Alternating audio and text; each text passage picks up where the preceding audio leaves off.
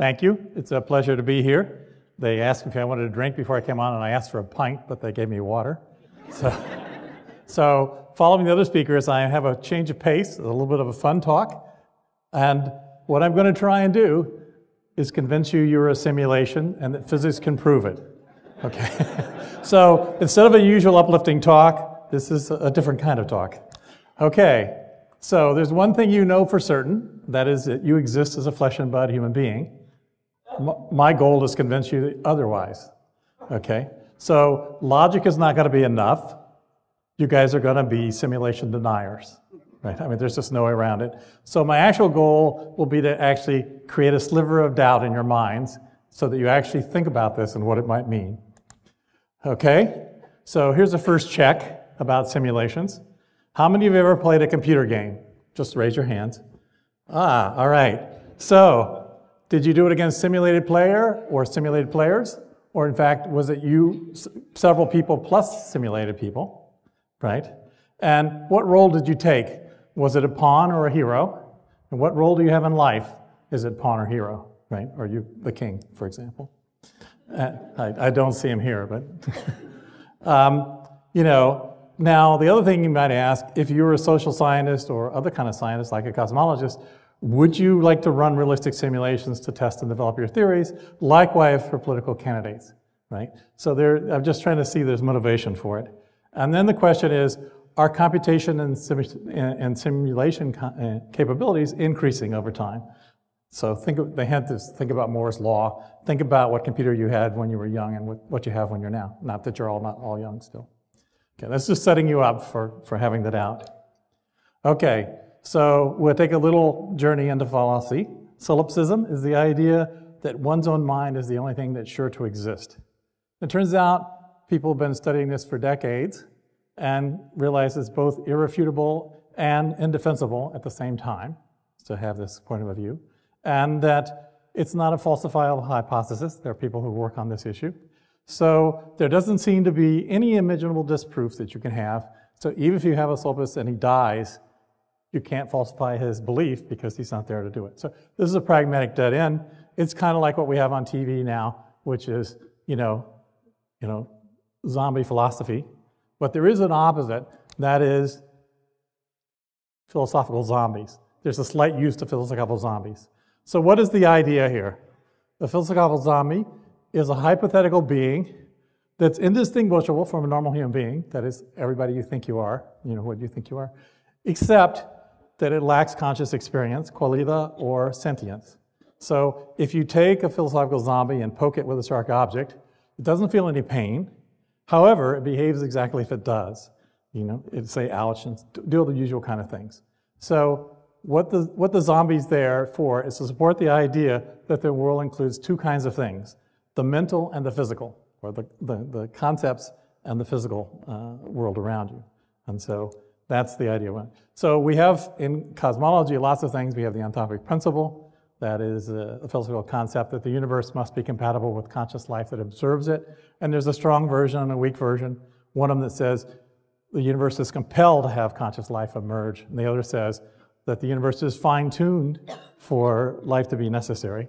And this is pretty much in line with a lot of uh, even more specific kind of ideas from conservative Christianity and, and Islam, that there's intelligent design, or it could be like a simulation. So this is, I'm, I'm working on you some. And we also have the idea of multiverses, that there are many different kinds, there's a, there's a meta universe and there's many possible universes inside of it, and there are different reasons for that, quantum mechanics, but also a way to explain why the physical constants happen to be the ones that make this auditorium possible. Right? And so, you know, one way is to have that many real universes, the other way is just to make a lot of simulations. So, you, your choice. Okay, so let me move on. Here's the crux of the arguments. And these arguments have been around for more than 30 years, and uh, they were first published 30 years ago. And what people went to a lot of trouble to show that one of these three things is extremely likely to be true. So you got your choice between number one, number two, and number three. Just like the doors, look what's behind each door. The first one is human civilization is unlikely to reach a level of technological maturity capable of producing simulated realities, right? Or it's physically impossible. Okay, so we've made some progress in 30 years, and I'll mention that. The second is comparable civilizations throughout the universe, are, you know, which would do, do reach that capability, will choose not to make simulations in such a large scale that in fact the probability of being simulated being is much higher than the probability of being a real being. Right? So that so those are your choices, right? There's some other choices, but they're extraordinarily unlikely, and, and we can pretty much rule them out. And the third choice is any entity with our general set of experiences are almost certainly to be living in a simulation. Right? That would be us. Right? Okay. in case you guys aren't paying attention. okay, so let's talk about making simulated realities by humans. So will humans produce realistic simulations? And the answer is yes. I have to keep coming back because I just wrote this talk, and so I don't remember what all I had to say. And uh, so the answer to that is clearly yes. You guys already proved it, right? Because there's a lot of money to be made in making computer games, right? Simulated realities. And the better the simulated reality, the more people you get involved in it. There's a lot of entertainment. We have a lot of animated movies. Now we're going to have animated interactive movies and videos, right? That's coming on. And pornography. So you know, you can't rule out pornography. In the early days of the internet, pornography was the, the, the, number one commerce. It was roughly half the commerce in the internet in the early days. And even today, 50% of the, of the bits that are transmitted on the internet are transmitted for porn, right? So you can wonder, why is that? Well, originally stories, and then they got to be pictures, and then they got to be videos. Pretty soon there'll be interactive videos, right? So it's clearly there's a tremendous financial motivation, and especially here in Media City, where people make their living out of this kind of things. So how, I'm not sure which of the three, but okay. how detailed and how accurate will the simulations be? And the answer turns out, as we know from experience, computation power is the first issue. You have to have tremendously good computation power to make a really good quality simulation. And pro good programming, that is good software to explain what's going on, that's the second. But clearly we're making progress. Just look at the games, the original, look at Pong, and look at the kind of video games we have now, right? And uh, so we'll see. What about simulations by other civilizations? Okay, so now we know a lot more about this than we did 30 years ago. We've made tremendous progress. We've discovered more than 2,000 other stars that have planetary systems around them. And uh, we know there is at least on the order of a billion or more habitable planets in our galaxy, and there's about 100 billion galaxies for around 10 to the 20th to 10 to the 22, depending what you range possible sites for life and then advanced civilizations in the universe. So what are the chances that the Earth is the most advanced, the most computationally powerful? Right? Well, the odds, you, have got to be really, you know, pretty much thinking you're special to think that the odds are that we're the, we're the top, right? And uh, so then the question is, will, you know, advanced, uh, you know, beings run simulations, right? And in fact, will simulated beings run simulations, right? If we're simulated, are we running simulations? And our simulations, you know, the simulations all the way down, if you, if you know the things. So even, even the people running our simulation don't know if they're a simulation or not. Okay, so, well, that's, there's, it's interesting because it creates ethics and a bunch of things because there might be somebody watching you, right? And uh, so are ethical considerations likely to stop every single civilization from running simulations, right? And running large numbers of simulations? All right, well, the answer I think is no. What if doing simulations is likely to save what we think are real lives? Right? We're willing to do the simulations, even though there are beings trapped in that simulation, right? conscious beings. And the other thing you might consider is how do human beings treat real, what they think are real human beings? How's the ethical treatment on, on our Earth and how, how much more society like to advance before we're doing very advanced civilizations, very, advanced simulations of civilizations and, and beings. Okay? So the probability will be in a simulation. The lights are not on enough in here, but look to the left and look to the right. If there's anybody here you think is a real person, this is a random sample, then you're probably not, right? So, all right, we'll go in that. But, you know, if you think you're a social scientist or an anthropologist or something, and you want to run and see how the civilizations rise and fall, you will run simulations with up to billions of people, right? And you will run many of those simulations. So it's not so hard to imagine you'll get up to the level of 10 to the 12th to 1 simulated beings to unsimulated beings. And so that's, that's you know, that's why the probability becomes very likely that any being that has a behavior or activities and experiences like us is simulated. Right? Sorry, I got some, some uh, sunscreen in my eye. I put on sunscreen this morning in case it was an unusual day in England. and I got a little in my eye here. Okay, so let's talk about how, how we're going to do the simulations on the Earth. Okay, let me convince, this is part of going back to convince you that we're going to have realistic simulations and we're going to have, have artificial reality to go with it. Okay, so can we take a real brain and make it into a virtual mind? And the answer is, so here's the purple real brain and the neurons behind it is this neural net. It's the original neural net as far as we were concerned. And then on the left, yeah, your left, um, there is the beginnings of mapping of a brain so that I can take and map that brain and just place it into a computer, right? So how, how's that gonna work, okay? The answer is it's gonna work just fine because we are there to the point where we can do it now.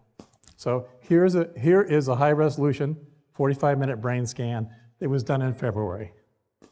Okay, at 45 minutes, that's how long you have to hold a person's head still in order to make a map to this level. And what you can see here are the main, let's see if the laser pointer works. Nope.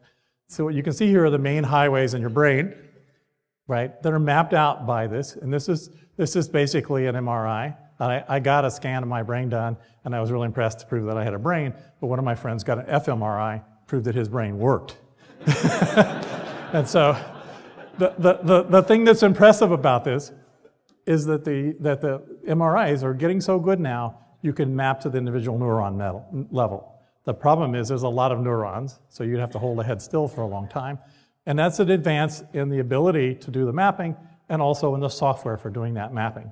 And so that's where we are today. If we can hold the person still long enough, if we can find a volunteer that we can put, you know, the little plastic thing on their head to hold their head still for some days, right, which is a little bit of a problem, we could probably go ahead and map their, map their entire brain and then just transform that map into a computer model. And we would have that person's mind downloaded into a computer.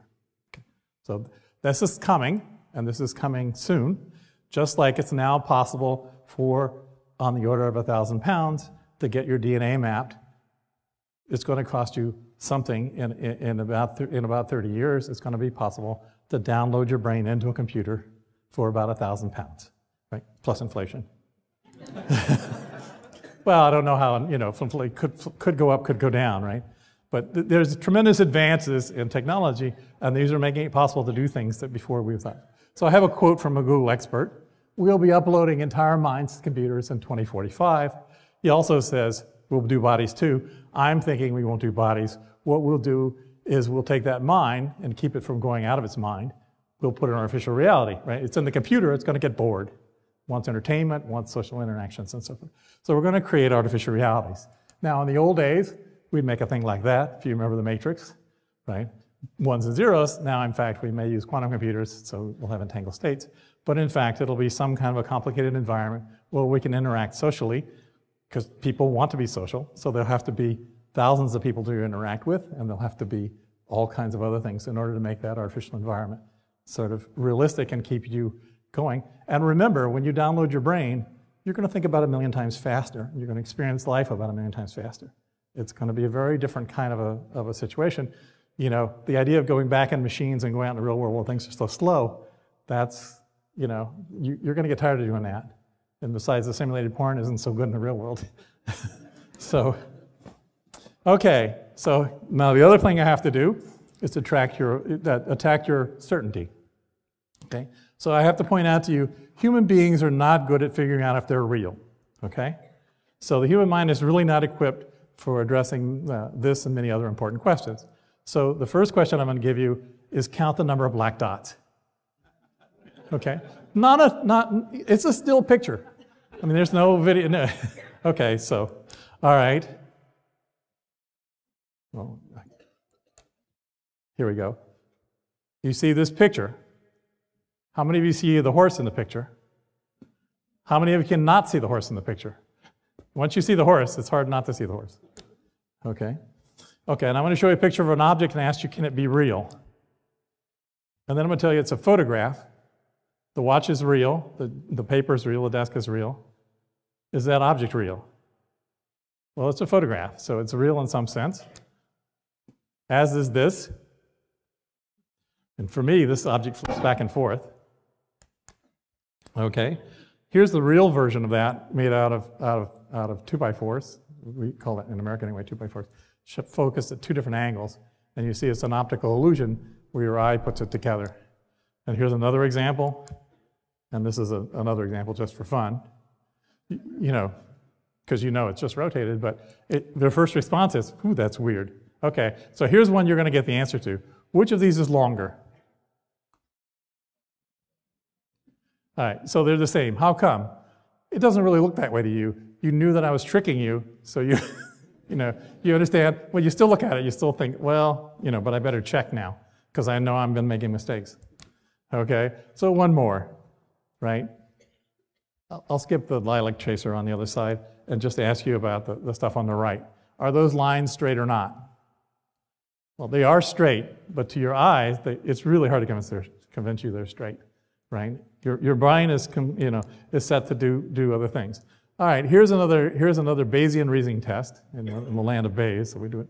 And this is, there's many examples you can give this, but a cab is involved in hit and run, and two cab companies are in the, in, in the, in the town, green cabs and blue cabs, right? And they operate. 85% of the cabs are green, 15% are blue. The witness says the cab was blue. When he's tested, he gets it right 80% of the time, or she gets it right 80% of the time, right? What's the probability that it really was a blue cab? You have to go through the calculation carefully. This is the only equation. Usually, when I put equations up, people go, you know. but it's almost 60% chance that the cab was green, even though the person gets it 80% right. And this is relevant, but this, there are other kinds of tests like that. So you can have tests that are even more powerful, like the test for breast cancer is 99% correct. It gets the wrong answer 1% of the time, but roughly a thousand times as many people who, who uh, you know, one thousandth of the people who get tested actually have breast cancer, so when you get the first response that you have breast cancer, it's only a 10% chance you really do. It's not until you get the next test. And so, but the 10%, you know, the 10 people are, are freaked out, right? And so it's, humans aren't ready for dealing with that kind of thing. Okay, so it's because we lack computing power. So we have compromises in our algorithms, right? Humans, therefore, are susceptible to optical illusion, systematic errors in judgment. I'm running out of time. I should have gone faster. I got confident uh, difficulty with complex decisions and keeping on time, and the ability to function in a prehistoric world, which was the important one. You know, only a few percent of, of the humans got wiped out before they were able to reproduce. Okay, so simulations are going to make the same kind or similar approximates. You know, so we have many uh, many contradictions. We could we could see if our physics is inconsistent, then it's likely we're in a simulation. If physics is self-consistent, it's more likely we're real because it just takes more to do that. So so that one of the implications is if we are in a simulated environment, what are we going to do? Well, we're to have a, you know, we're going to be discretized, that is fuzzy on small scale. We're going to have entangled states, means quantum mechanics. We have the holographic principle that everything inside of a given volume is encoded on the surface.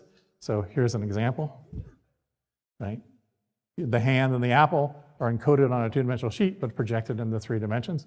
That's a way to keep track of everything. And the large scale in space and time may not match the small scale. So let me finish up. Human beings are ill-equipped for, for determined reality. Physics, so this is actually a selling thing for physics, is a fundamental test of our realness. Currently we have contradictions. Is that because we're not good at resolving things, or is it because we're in a simulation, right? And what would that mean? Thank you.